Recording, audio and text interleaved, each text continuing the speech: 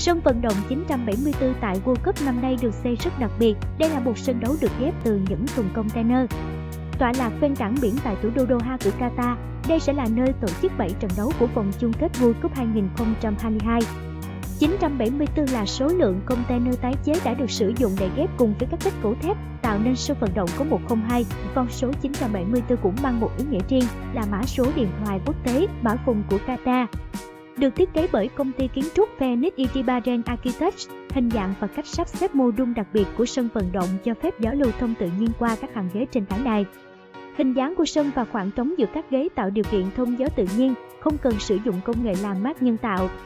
Phương pháp xây dựng theo kiểu khối kết nối cũng sản sinh ít chất thải và khí thải carbon hơn so với quy trình xây dựng truyền thống. Vì vậy 974 được xem là sân vận động thân thiện với môi trường. Công trình này đã nhận xếp hạng 5 sao từ hệ thống đánh giá bền vững toàn cầu. Tổng thể sân vận động mang màu sắc hiện đại và năng động, có sức chứa hơn 40.000 người. Sân 974 sẽ là một trong 8 sân vận động lần lượt tổ chức các trận đấu. Vì tính chất đặc biệt, sân vận động này đã thu hút được một lượng lớn khách du lịch trước thềm khai mạc.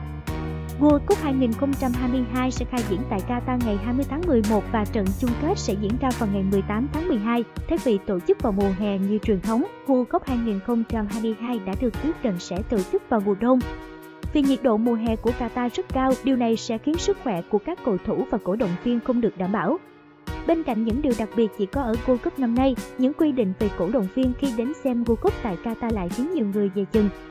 Có thể kể đến như khi chào hỏi không được hôn má, ôm nhau hay bắt tay, cấm sử dụng đồ có cồn, phụ nữ không được đồ ngắn và hở. Không được thể hiện cử chỉ thân mật, không tự tiện chụp ảnh. Nếu vi phạm những điều trên, khán giả có thể bị phạt nặng, thậm chí ngồi tù.